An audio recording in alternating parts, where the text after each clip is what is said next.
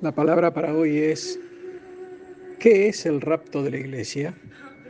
Quizás haya desconocimiento de los eventos venideros, quizás muchos crean que Jesús ya vino y está muy tranquilo a la diestra del Padre, ¿sí? Y lo cual pueden llegar a creer que ese es su lugar o quizás piensan que las cosas espirituales no son importantes, con lo cual, así como estamos, estamos bien. Lo que yo puedo decir es que existirá un rapto de la iglesia, aunque la palabra rapto no se encuentre en la Biblia, el concepto es claramente enseñado a lo largo de todas las escrituras. El arrebatamiento de la iglesia es el evento en el cual Dios saca a los creyentes de la tierra para dar paso a su justo juicio que será derramado sobre la tierra durante el periodo de la tribulación. Se describe el arrebatamiento como el acto en el cual Dios resucita a todos los creyentes que han muerto.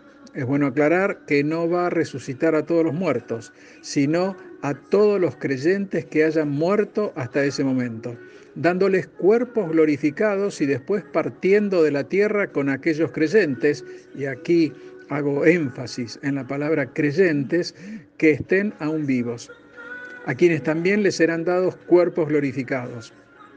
Pablo les habla a los habitantes de Tesalónica, porque ellos mostraban preocupación ya que había hermanos que estaban muriendo. Y sí, se morían como todos los seres humanos, pero ellos estaban esperando la venida de Cristo y se preguntaban qué pasaba con los que dormían, es decir, con los que habían muerto. Entonces Pablo aclara este punto y lo hace en su primera carta a los tesalonicenses. Esto está claramente explicado en Primera de Tesalonicenses 4, del 13 al 18. Pablo dice así, Tampoco queremos, hermanos, que ignoréis acerca de los que duermen, para que no os entristezcáis como los otros que no tienen esperanza, porque si creemos que Jesús murió y resucitó, así también traerá Dios con Jesús a los que durmieron en él. Por lo cual os decimos esto en palabra del Señor, que nosotros que vivimos, que habremos quedado hasta la venida del Señor, no precederemos a los que durmieron, porque el Señor mismo, con voz de mando, con voz de arcángel y con trompeta de Dios, descenderá del cielo y los muertos en Cristo resucitarán primero. Luego, nosotros, los que vivimos, los que hayamos quedado, seremos arrebatados juntamente con ellos en las nubes para recibir al Señor en el aire y así estaremos siempre con el Señor. Por tanto, alentaos los unos a los otros con estas palabras. Pablo se enfoca en la naturaleza instantánea del arrebatamiento y en los cuerpos glorificados que recibiremos. El arrebatamiento es el glorioso evento que todos debemos esperar con anhelo, ya que entonces estaremos libres de pecado y para siempre en la presencia de Dios. Existen muchos debates sobre el significado y alcance de este rapto, del arrebatamiento. Esta no es la intención de Dios, más bien Dios quiere que al considerar este hecho nos animemos unos a otros con estas palabras. Miremos, 1 Corintios 15, 50 al 58.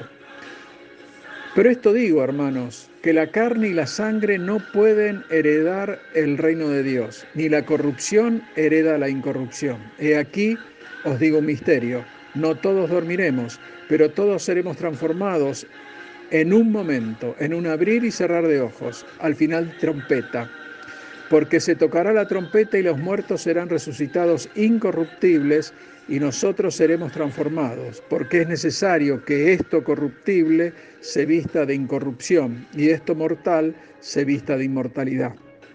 Y cuando esto corruptible se haya vestido de incorrupción y esto mortal se haya vestido de inmortalidad, entonces se cumplirá la palabra que está escrita. Sorbida es la muerte en victoria. ¿Dónde está, oh muerte, tu aguijón? ¿Dónde, oh sepulcro, tu victoria? Ya que el aguijón de la muerte es el pecado y el poder del pecado la ley, más gracias sean dadas a Dios que nos da la victoria por medio de nuestro Señor Jesucristo. Así que, hermanos míos amados, estad firmes y constantes, creciendo en la obra del Señor siempre, sabiendo que vuestro trabajo en el Señor no es vano. Pablo enseña que en esta instancia los creyentes tendremos cuerpos glorificados y para mostrarnos esto, él mismo se sube al monte de la transfiguración. Miremos, Mateo 17, 1 y 2. Seis días después Jesús tomó a Pedro, a Jacobo y a Juan su hermano y los llevó aparte a un monte alto y se transfiguró delante de ellos y resplandeció su rostro como el sol y sus vestidos se hicieron blancos como la luz.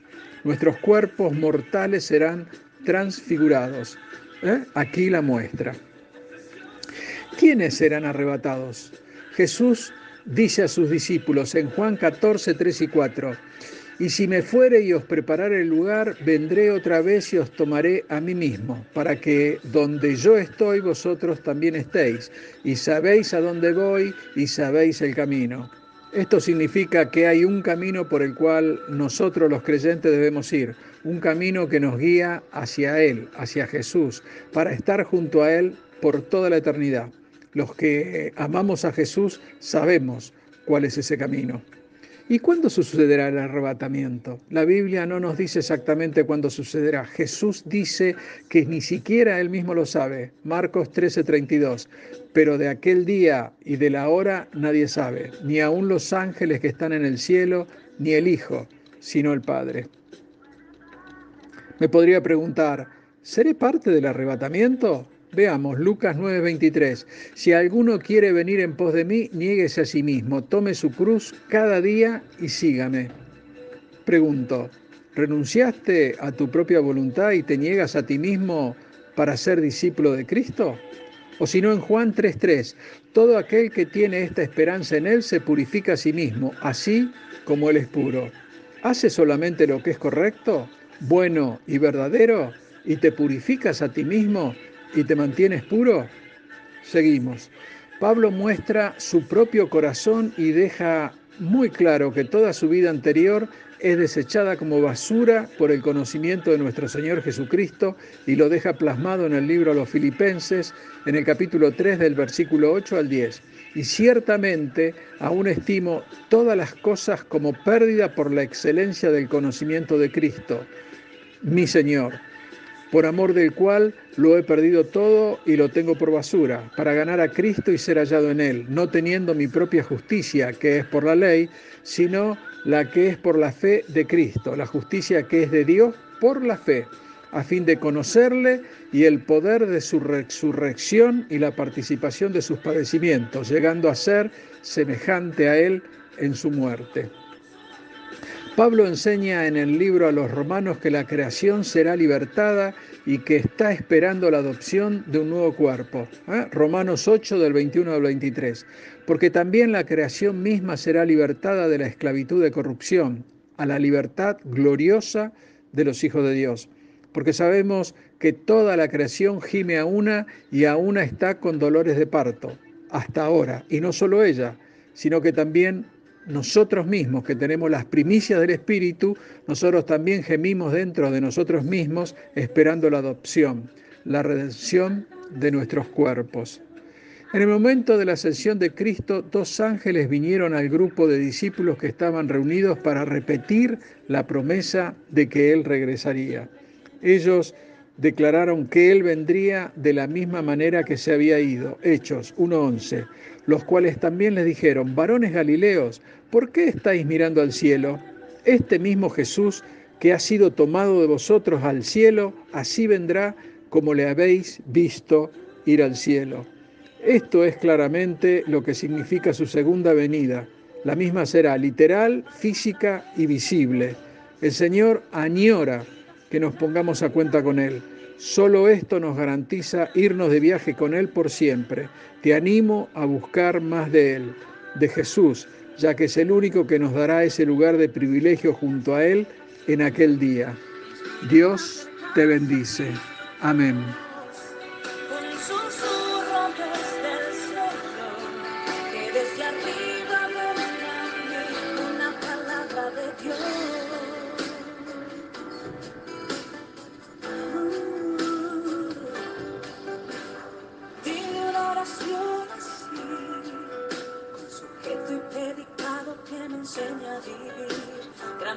Gramática llena de fe, escrita por ti, por ti. Respaldame con tu favor para ir por el mundo alrededor. Donde haya necesidad, enseña tu amor.